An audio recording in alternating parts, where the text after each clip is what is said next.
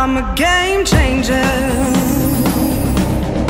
I'm a risk taker. Hello everyone, my name is Carlock and today I'll be sharing with you my video presentation.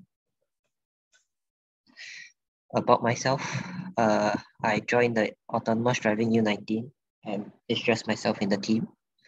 I'm from Singapore and I started robotics at 9 years old and this is my first year in RoboCup. The mission is to get the robot to the finish line as quick as possible while going through all the checkpoints. The problem was, was how, how to find the shortest path to complete the mission. The methods I used was that I used MS Paint to find out what, what routes look like the shortest distance to complete the map and try, try the routes in the map with a fixed max speed of 50. The results that I would I will know what route route is the fastest. Uh, the conclusion is that uh, the route that looks short, that looks short, might not actually be the fastest route. The challenge is to get to point point A to point B as fast as possible. The challenge can be broken down to mini tasks. The first mini task is to is taking the robot from the start to the first checkpoint and the second mini task is to take the robot to the first checkpoint and to the second checkpoint and repeat this until the finish line. The overall mission will be solved if all the mini tasks is complete because the robot will have gone through all the checkpoints and finished the map. I use proportional line tracking and gyro. The tools I use is this website and the advantages is that it is easy to find what I need if I forget an algorithm. I mainly use proportional line tracking algorithm to have a smooth line tracking gyro, and I use gyro to turn to a specific angle consistently. Again. This is my flowchart for my proportional line tracking. Uh, the I, IRL3, if the IRL3 senses black, it, it would add 5 to position, which I shortened down to pos, and add 1 to count. And it will, it will continue IRL2 sense black, it will add negative 3 to pos, and and add 1 to count. And if IRL1 sends black, it will add negative 1 to pos and add 1 to count. And we will continue for R1, R2, and R3, but now the pos, the position is now not negative, it's positive. After this, if the count is more than 1, which means if, if one or more sensors sends back, it would do it would it would uh, change position to position divided by count which means it will find the it will roughly find the center point of the line.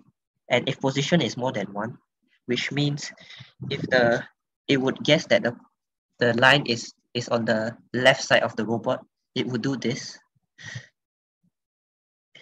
And the default speed is set by myself in the variable. And if it's not more if it's not more than zero which means it's on the right side it would do this.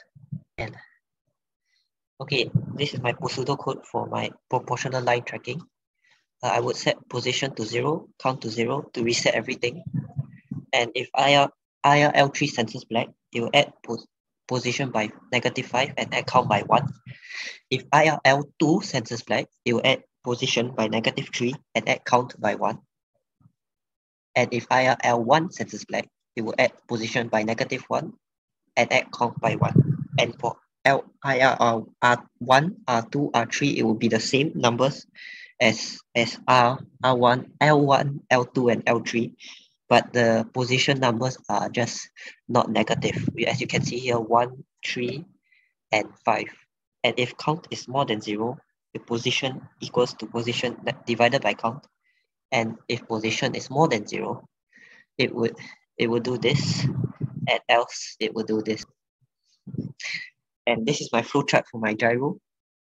And it's actually quite simple. If the rotation is more than 80 and less than 180, I would, eh, if it's yes, I would set the duration to zero, stopping the whole program entirely. And if it's a not, it will repeat the whole thing there again. And this my pseudo code is really simple. Just rotation z is less than 80 and more than 100, you just set the duration to zero. The robot does not plan encoded because there's so many objects everywhere that interferes with the sensors like the buildings, and lampposts. To fix the issue, I would retry the program to see if the one if if the mistake was a one-time thing. And if it's not working consistently, then I would look at all the sensors and see what activates the code. An example was at the first turn, the robot was was turning too much to the right and I was confused because I was using proportional line tracking and it was pretty slow speed. I was using an ultrasonic sensor to do a second turn. The problem was the lamppost activating the turn too early. I set my ultrasonic sensor to sense uh, when it's under 20, it would turn right because I wanted to make this turn over here with this wall but I didn't expect that this lamppost would interfere with the ultrasonic sensor. As you can see here, the ultrasonic sensor is 20. The, the solution was that it is to, is to set a condition to activate the turn when the gyro, rotation Z, is in between two, 350 and 10 degrees. Because as you can see here, the rotation Z is not at 300, 350 and 10 degrees, so it wouldn't activate until it reaches this straight line here. It would activate and sense the wall and turn right. The results of the competition was a bit unexpected as I didn't know did not know how strong other countries were. If I was, I was given a chance to solve the same challenge again, I would use more time to keep up, keep, keep trying out my program.